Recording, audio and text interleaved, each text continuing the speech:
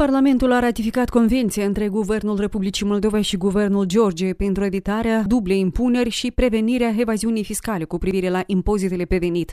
Documentul a fost întocmit la Tbilisi la 29 noiembrie 2017. Inițiativa de a încheia convenția aparține autorităților georgiene. Documentul este structurat în 28 de articole, precum și un protocol adițional, parte integrantă a acestuia. Convenția va intra în vigoare la data ultimei notificări privind îndeplinirea procedurilor interne necesare. Actualmente, Republica Moldova aplică convenții și acorduri pentru evitarea dublei impuneri cu 48 de state partenere.